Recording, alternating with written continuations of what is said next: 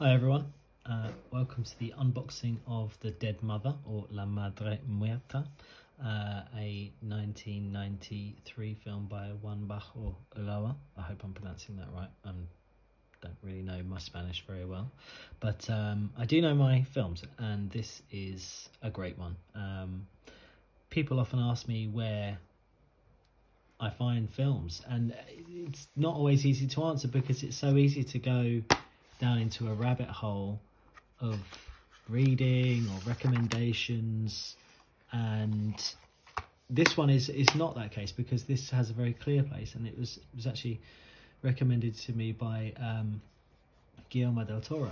Um, I was very lucky to be dealing with Guillermo a couple of times on various releases in the past and I sort of said to him, well, you know, I'd love to do some Spanish films or, or something along those lines. And he said, oh, you should check this out and I bought a copy and just kind of sat on it, never watched it. It just didn't particularly speak to me for one reason or another, and you know things getting in the way, and I didn't really get around to watching it until I set up Radiance, and I put it on, not really knowing what to expect, and uh, I was I was floored by it. Uh, I just absolutely loved it. I mean, it's it's like a dark fairy tale uh, with very, very dark humour. And, um, you know, it, it's, as his point is made in the booklet, it is a horror film, essentially. You know, it's about a serial killer, it's about a psychotic person. And if that's not horror, then, you know, I don't know what is.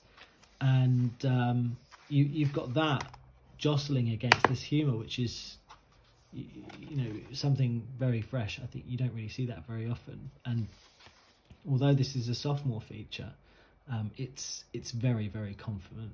Uh, confident. It's it's precision throughout, and the set pieces are are amazingly well done, and um, it's uh, it's just an absolute great one. I mean, this is the DVD cover. This is the, this is the artwork they went out with um, in Spain and in the US as well, and it's a difficult one, isn't it? Because you, you you've got this tear, and it's like, well, you know, is it a period film or isn't it a period film? Is it about this painting? Is it not? Who is the dead mother? So it's a bit of a challenge from that perspective, but um, hopefully we've we've kind of done it justice, and uh, people give it a chance. Uh, Karra Elejalde, who's from people will know from Time Crimes, another great film, um, is brilliant in it. You know, he he he does a fantastic performance, and it's what potentially an extra for the future, but starting to be a trend uh, with Radiance, uh, having a comedic actor play a serious role. We previously had that in um, in uh, Carl uh, Gustav in The Man on the Roof. Um, you know, who previously a comedic actor who was um, who's playing a serious role, and there's another one that hopefully we're going to release uh, in the near future. And then there's, I'm sure there's another one, but it escapes me. But um, anyway, we're talking about La Madre Muerta here and um, it, it's it's great fun and um, his performance, yeah, and um, I hope people enjoy it. And digging into the film further, um, there's you know some really great extras here. Um, did kind of go back and forth on whether or not to include the commentary because commentaries, as we know, you know they are they are something that you know a select audience likes. Not everybody goes in for them, and this one being in a foreign language, it's sometimes maybe a bit disorientating or, or not quite the, the perfect viewing circumstances to be watching a foreign language film with a foreign language track with foreign language subtitles that don't relate to this. It's, sort of one challenge on top of another, but it is a really great track, and I think it's absolutely essential for this release because um, he does a fantastic job of really digging into all the behind the scenes stuff, the way that they made things, which which is I think particularly useful for this film because of some of the things that are depicted in it and also the way some of the scenes are done. It's really interesting.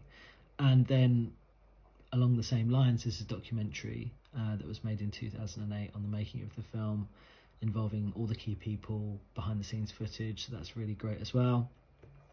And then um, his one of his first short films. I'm not sure how many short films he's made because I don't think they're all you know properly listed on IMDb and so on. But this one was restored in 4K and was a Goya award winner, and I think if you've seen um, first films, it's you can definitely see the through line between this film, uh, of the Victor, Victor's Kingdom, and his later works. So through Butterfly Wings into um, this film as well, and it's really great to see his progression as an artist and his development, and that all those things. Like many great directors, that they were there from the start, and I think that's when you know you found somebody special. Um, and then on top of that, we've got a gallery, which we're really fortunate. I mean, um, Juanma has has got some amazing things for this film. You know, so the photos that you see in the gallery um, are, are are really interesting. So there's sort of like